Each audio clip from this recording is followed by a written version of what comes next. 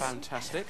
Now, what's the secret of a sort of quick bread and butter pudding then, Anthony? For people at Um, we're about to find out. It's um, sort of making a custard. Yeah. Which I use four egg yolks to a pint of liquid, Mm-hmm. bit of sugar, in which case we're going to use half the tin of coconut milk. Yeah. And that's Which is coriander. That's- no, that's fine. That's co- coriander.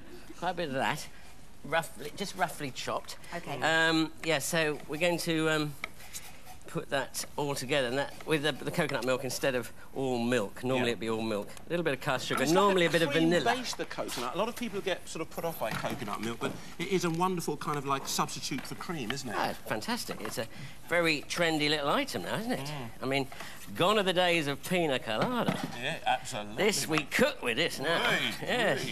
I mean, the Thais have made it very popular, of course. Mm-hmm. You know, Thai chicken curries and things like that. Great. Well, Toyah was talking about it. You love all that Lovely. Thai food, Have don't you? I haven't chopped it yet. That's all right. I'm Oh, going to put it in a okay. mixer. I love Thai food. It's fantastic. Peel that for me. Um, thank, thanks. Peel I that. know. It's so don't, don't buy knobbly ginger. well, that's what that's what he says. I mean, all my cooking is done in a wok.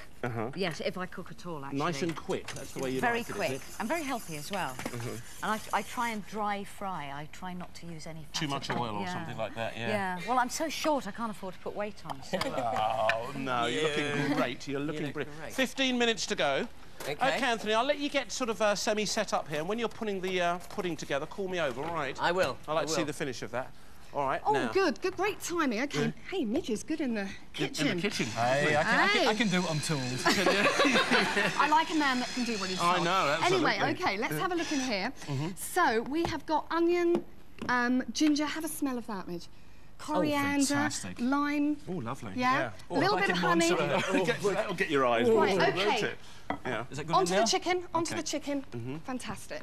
Here, well, let's take that out, Midge. That'll make it a lot easier for you. Thank you. We don't, Okay. want that, don't want that in there. Instant toothpick. All right, we're just going to leave that, and then we're And going to how long pan would you off. normally marinate something like this Oh, for, it's best if you can do it overnight. But you know, if you haven't got the time, it's Mm. not the end of the world. Just even just letting it sit Mm-hmm. for 20 minutes will will help it. Of course, we haven't even got time to do that. Now, I've got to go back to this name Midge. Where did that originally sort of come from? Because you're, what was it called? But you're Jim, aren't you? Well, James, yes. so the- the- like most nicknames, you don't ask for it, and it's Yeah. usually thrust upon you. Um, there was a great movie called um, Animal House, where there's a great scene where John Belushi walks through all the new guys coming into the frat Yeah. and Oh, says, "And you're now film. called, and you are now called." Well, it happened to me. I was in a band. Mm-hmm. The other guy in the band was called Jim. He'd been in the band longer than I was. Who said, "Now you are Midge," which is Jim backwards. Oh, Sorry. Jim backwards, Midge. Yeah, and you added the M.I.J.. D D E. Well, I had to put Yeah. a bit of style into Well, it. Leslie, you know. you would be a what? A Yelsey? What would you? What was that? A Yelsel? Or A something? Yell cell, probably, wouldn't I? hey, it's a new name. It All is. right. Yelsel's quite Also, good, isn't it? lovely, yeah. Right, let's get that chicken in there, 13 that minutes to go. side down. So That just pick it up, Okay. whack it in the pan. Now, Midge, Yeah. you've always written your own songs, haven't you? But if you had to do a cover version, who, who would you like? 'Cause there's so many fabulous artists out there. Well, there's, yeah, there's so many um, uh, seminal people out there who've written the, the key things that have made huge changes to your life. People like David Bowie or Roxy Music or any of those guys. Um, I'd be very wary doing cover versions. You have to either give it your full, your interpretation of it, or not do it at all. So you'd have to you have to take it and turn it inside out and make it something else. Um, any- has- otherwise, it, it's, there's no point sorry. in doing Yeah. it. Okay, okay. thing I'll. I'll He be right wants to do a cover yeah, version. excuse me, yeah. He wants to do a cover version down. How's this going? Okay, I put This- the oranges and caramel in the bottom, Yeah. And then put the custard over So the what quantity of oranges to caramel? Uh, Or sugar, I should say. Um, well, I got two ounces of um, butter, two ounces of golden, uh, sorry, two ounces of honey, yeah. and two ounces of. My hands aren't strong enough. There we are, And the other thing is um, Goodbye. Yeah. two ounces soft brown sugar. Right, and you just brought that up to the boil, pop the orange in there, Yeah. and that was your base. I got it all caramelised, so it Yeah. all blended together nicely. Yeah. And that was my base, yeah. Fantastic. And I'm going to fry my pineapple.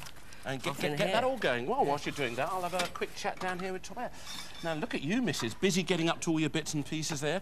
Now, you had a top 10 hit with It's a Mystery. Yeah. I mean, every time you go into the kitchen and you start sort of cooking, is, is it a bit of a mystery to you? Everything's a mystery to me in the really, kitchen. you said yeah. you were a bit frightened of the oven, but yet you're talking about doing all this dry wok frying and Well, stuff like that. uh, uh, to be honest, I, I I think because I'm a relatively good cook and people expect me to cook, I don't quite enjoy it. So Yeah. um, when I'm at home, I eat an awful lot of raw food, just fruit and veg. Yeah. Because I'm lazy, basically. I think a lot of people are, though. You Yes. Know? And people don't realise that a lot of the sort of vegetables that we get in the freezer, they retain wonderful, all those sort of nutritional values that you have in things. Is that right, Anthony? Yeah, definitely. I mean, that's what it's, uh, it's all about. Lots Yeah, of fruit that and veg. is isn't what it's Lots all of fruit and veg and raw, raw, all the better. And I don't know about you, if ever I make a pudding, I'll eat the whole thing before anyone else sees it as Really? well. So it's like, steer clear yeah, of no that. problem with that. There's a lovely story about uh, you eating your mum's sort of cakes and stuff when you were younger, wasn't there? Yes, but it wasn't me. My mother would make cakes and she'd put them to cool on the baking tray. Yeah. And my brother would come along and put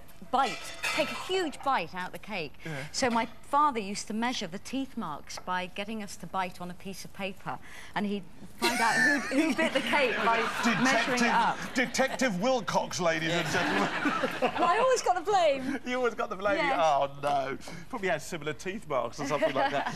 Now, what about sort of music in the kitchen when you're cooking? Are you one of those people I like to have a bit of something music. going on? Anything from Debussy through to Stravinsky. Oh, really? Oh, Classical yes. Stuff? If you're really kind of in a hurry and Yeah. you've got Firebird on, you're Yeah. da, da, da, everything gets cut so quickly. Oh, oh sorry, well, I, I'm not being much the help, show. am no, I? you're fine, And you're he's very bold. And uh, anything from Halfway, halfway. Bing, Yeah. Bing Crosby to David Bowie, I Mm-hmm. think the lot. I just love music. I'm a bit more sort of soulful. I like all the soulful stuff get on down Yeah. and quite sort of cool and stuff.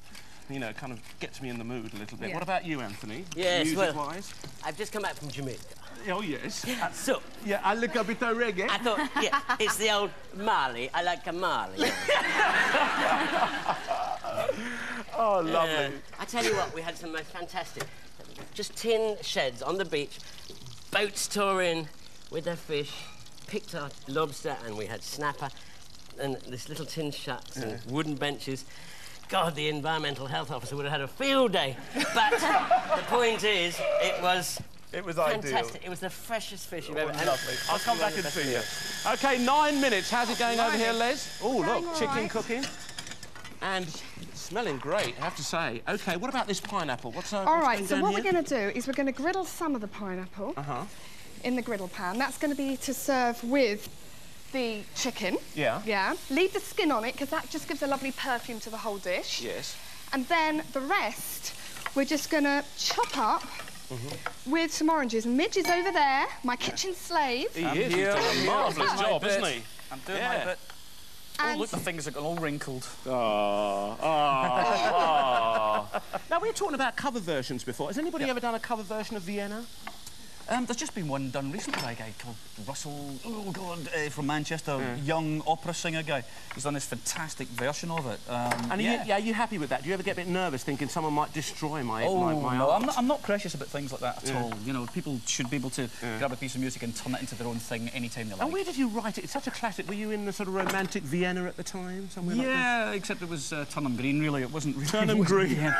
I'd never been to Vienna. I'd read about it and I knew all about the secessionists and stuff, so it, it was all it was pure fantasy at the time. Lovely, lovely, lovely. Now, what about uh, all these pop stars that you know? Do you go round to each other's house and sit down? Like, has Bob Geldof ever invited you over for a bit of a sort of a, a Oh, wop yeah. nibble? Funnily enough, no. no, it doesn't. It doesn't kind to happen that way. I mean, it's like it's like you meet all these guys at various TV shows, Yeah. various events and things, and um, and you never really get a chance to kind of mix. Everyone's got their own kind of very busy little areas to Absolutely. do. And uh, of course, when you go home, you just want to spend it with the kids. And I know, and stuff, exactly. so- Chill out with the kids and you Absolutely. getting down there doing a bit of cooking with them or something Absolutely. like that. All right, what I say, after um, Band Aid, there was Live Aid. Yeah. What was that like, standing on stage there in front of millions of people worldwide and singing? What's the feeling like? Is it, did it get your guts going? It's a bit like this, really, isn't it? Is it really? no. Uh, uh, petrifying, absolutely petrifying. Because the thing was that people didn't get to see that the artist had no time for a sound check and Yeah. to check that everything was working and the sound was okay and all of that stuff. Mm-hmm. Just went on. You had 18 minutes. What you didn't know that was there was a traffic light system either side of the stage, and you had 18 minutes. And if you saw the lights turn from green to amber, you had two minutes left.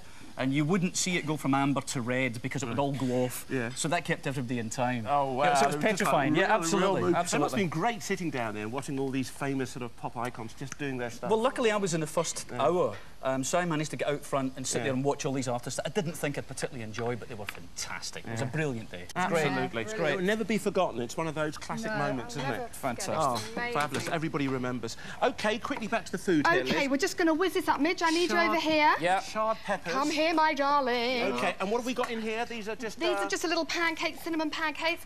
Midge, in there with the egg. Beautiful. And we're just going to whiz that up Just with some yolk. herbs. Just to go. And where's that chilli gone? Did we use it? OK. I haven't seen it. Did you want more chilli? Yes, please. That would be